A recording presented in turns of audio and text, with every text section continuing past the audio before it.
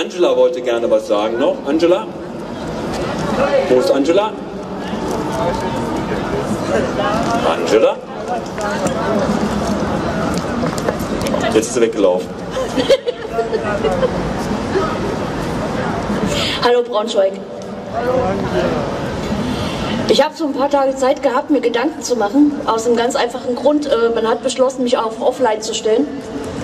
Also Handy-Softwarefehler, Router angeblich kaputt. Naja, wer es glaubt.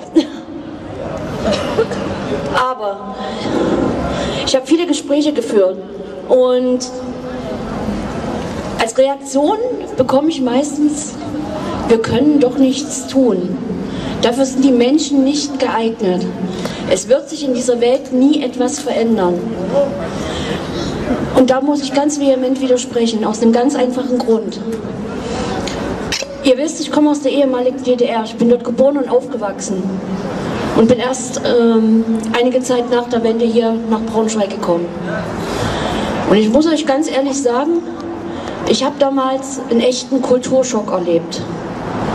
Es war für mich fürchterlich zu erleben, wie kalt Menschen miteinander umgehen, wie egoistisch sie sind, wie nur die eigenen Interessen im Fokus stehen. Und vielleicht habe ich auch gerade Pech gehabt, also ich bin von Anfang an so mit Ur-Braunschweigern, die, äh, ich weiß nicht, ich habe immer gedacht, die gehen zum Lachen in den Keller. Im Laufe der Jahre war es mir aber vergönnt, dann noch ganz viele liebe Braunschweiger kennenzulernen, die anders denken und anders sind. Aber für mich war es damals ein Kulturschock. Und ich habe das heute noch, wenn ich ähm, zu feiern zum Beispiel ähm, ähm in, in, neuen, in den neuen Bundesländern bin. Dort herrscht eine ganz andere Atmosphäre. Dort ist die, Natürlich ist auch, ähm, sind auch die fünf neuen Bundesländer ein ganz Stück egoistischer geworden, weil die Menschen teilweise dort um ihr Überleben gekämpft haben, weil ihnen der Boden unter den Füßen weggezogen wurde. Aber sie haben eins noch nie komplett aufgegeben, dass dieses, diese, dieses Miteinander, sich gegenseitig zu unterstützen. Ich nenne mal ein Beispiel, wo meine Mutter gewohnt hat, also meine Eltern. Das Haus ist abgerissen worden, ne? ein Plattenbau. Und die Familien mussten alle das Haus verlassen. Es waren vier Familien, die immer zusammengehalten haben. Und als die erste Familie dran war und gesagt hat, ja, am nächsten Freitag ist es soweit, dann kommt der Möbelwagen, dann waren die anderen drei Familien auch da. Und so war das bei allen vier Umzügen. Die haben sich einfach gegenseitig unterstützt. Das ist heute so in der, in der Gartenanlage oder sonst irgendwo. Aber wir brauchen gar nicht so sehr in den Osten zu gucken. Wir können auch ähm, äh, nach Afrika gucken. Wir können ähm, nach Japan gucken, Indonesien oder sonst wo. Diese Völker, bei denen noch eine ganz andere Kultur herrscht, wo die Alten äh, geehrt werden wo es undenkbar wäre, zum Beispiel äh, die Eltern oder Großeltern in ein Altersheim zu geben, weil dort sind einfach die Familien noch größer, da wird sich äh, miteinander eben um die Eltern gekümmert, ähm, da herrscht ein Miteinander und, und selbst wenn jemand nichts hat, dann nehmen die trotzdem noch Bedürftige auf, die teilen das Letzte, was sie haben. Und wenn ich dann hier höre, der Mensch ist dafür nicht geeignet, dann muss ich ganz vehement widersprechen. Natürlich ist der Mensch dafür geeignet. Der Mensch will es nur nicht. Und wo, aber woran liegt das? Ich kann es euch sagen. Das liegt daran, wie wir hier aufwachsen. Die Kinder werden geboren und das Erste, sie zahlen Miete für das Stückchen, Stückchen Erde, auf dem sie gerade in ihrem Babybettchen liegen. Sie zahlen Miete für das Babybettchen. Natürlich nicht sie selbst, sondern die Eltern. Beziehungsweise dann bei uns die Krankenkasse. Dann geht, dann geht es weiter. Die Kinder kommen nach Hause und nach wenigen Monaten bereits sonst in die Kinderkrippe, damit die Eltern ja schnell wieder arbeiten gehen. Wo bleibt da die familiäre Bindung? Wo bleibt das Miteinander, das Teilen, die, die Liebe? Dann geht es in den Kindergarten. Dort werden sie bereits auf die Schule getrimmt. Dort herrscht das Leistungsprinzip. Dort werden die ersten Elterngespräche geführt nach dem Motto, ah, ihr Kind, äh, das ist aber... Stopp!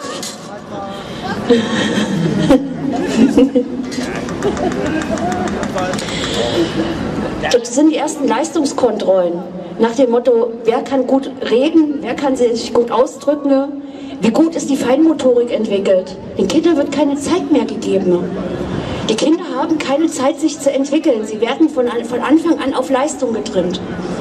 In der Schule geht es weiter. Dort geht es nicht mehr nach Fähigkeiten. Dort geht es nicht darum, dem Kind die Umgebung zu geben, um sich zu entwickeln.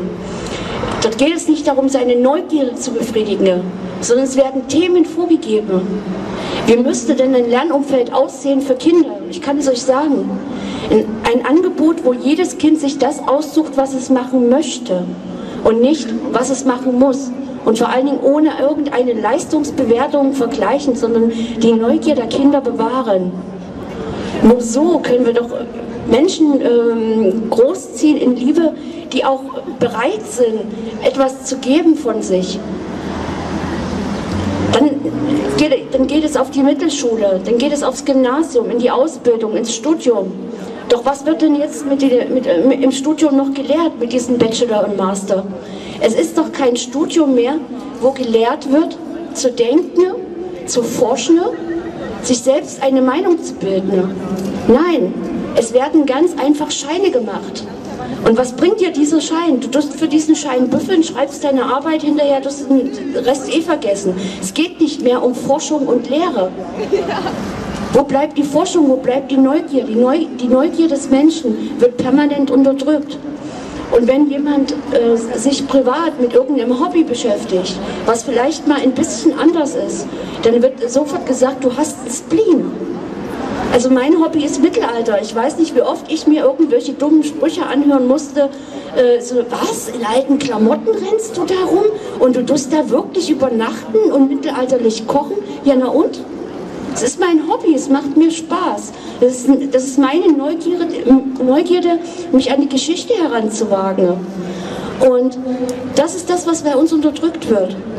Und deswegen fehlt einfach auch bei vielen die Einsicht, dass äh, wir unsere Welt nur ändern können, wenn wir etwas in uns ändern, wenn wir Vorbild sind. Und dass wir Vorbild sein können, haben wir hier auf den Mahnwachen ganz deutlich bewiesen. Seit April stehen wir hier, ich glaube heute zum 27. Mal. Am Anfang waren die meisten von uns waren noch äh, Fleischesser. Die haben sich noch nicht so viel Gedanken gemacht über Konsum. Wir sind als erstes hierher gekommen für den Frieden. Aber dann hat sich nach und nach hier etwas verändert. Und die, da ist ein Funken übergesprungen. Das konnte man richtig sehen, von einem auf den anderen. Und das ist das, wo ich sage, jeder Einzelne, der in sich was verändert und zum Beispiel sagt, ich konsumiere weniger Fleisch, man muss ja nicht gleich Vegetarier werden oder Veganer, aber man sagt, ich konsumiere weniger Fleisch, ich hole nichts aus Massentierhaltung oder ich konsumiere allgemein weniger. Ich brauche nicht ständig ein neues Handy, ich brauche keine neue Playstation, sondern ich versuche mal meine Klamotten zu tauschen auf Tauschbörsen oder Bücher weiterzugeben. Dann kommen wieder Bücher zu mir zurück, wo wir ganz einfach uns von dieser Konsumgesellschaft verabschieden, um die Erde weniger auszubeuten. Und nämlich in dem Hinblick, dass unser Lebensstil hier, den bezahlen die, zum Beispiel die Menschen in Afrika mit dem Verlust ihres Landes für große äh, Agrarkonzerne die dort Tierfutter anbauen für das Fleisch, was wir hier essen. Nicht die, nicht, nicht die Afrikaner. Das ist Tierfutter, was wir hier, wo wir die Tiere hier essen. Darüber gilt es nachzudenken. Und ich alleine kann nichts tun, sagte sich die halbe Menschheit. Und ganz ehrlich, wenn jeder von denen nur eine Kleinigkeit ändert und alle irgendetwas bewegen und aber auch darüber reden. Ihr müsst darüber reden in eurem Umfeld. Und sei es äh, bei Nachbarn, sei es bei Bekannten, sei es ganz einfach auf der Massagebank, wenn ihr eine Massage habt. Ihr, ihr werdet erstaunt, wo man überall über diese Themen reden kann. Und dann kann diese Welt friedlicher werden, weil dann brauchen wir keine Kriege mehr, um irgendjemanden auszubeuten. Wenn wir weniger konsumieren, es ist, auf, auf dieser Erde ist genug für alle da, wenn wir verantwortungsvoll damit umgehen. Und deswegen kann ich euch nur aufrufen, wird etwas in euch verändern. In euch werdet friedlicher, verzeiht, Auch wenn ihr irgendwo Streit gehabt habt, verzeiht einfach. Ihr könnt es nicht mehr ändern. Ihr werdet, ihr werdet Menschen in einem bestimmten Alter nicht mehr ändern können. Ihr könnt sie aber zum Nachdenken bringen. Und wenn ihr mit gutem Beispiel vorangeht, dann können wir überall auf der Welt Frieden haben. Dankeschön. Dankeschön, Angela. Man kann ältere Menschen doch ändern. Ich bin 53 und wie Angela es eben gesagt hatte, als wir hier die Mahnwachen angefangen haben, war ich noch Fleischesser. Ich bin es jetzt seit, glaube ich, drei Monaten nicht mehr. Also man kann sich ändern. Und nicht, weil ich gesagt habe, ich will das jetzt so, sondern einfach durch das bewusster werden, bewusster sich die Umwelt anschauen, bewusster anschauen, was passiert so in der Tierindustrie, ähm, dieses Tierleid. Zu Hause haben wir selber Haustiere und äh, auf der anderen Seite kaufen wir irgendwo im, Laden irgendwelches Fleisch von irgendwelchen gequälten Tieren. Und nicht nur das Tierleid, sondern auch das, das eigen, die eigene Gesundheit. Weil dort sind Hormone gespritzt, Antibiotika ohne Ende. Und man sollte sich einfach mal fragen, warum viele Antibiotika auch vom Arzt verschrieben heute überhaupt nicht mehr wirken. Das ist einfach, weil wir mittlerweile selber Resistenzen halt darüber aufgebaut haben. Aber!